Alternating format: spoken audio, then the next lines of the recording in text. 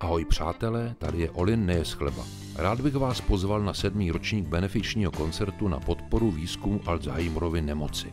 Proběhne 2. října od 8 hodin v klubu Music City Point v Praze 9 Vysočané.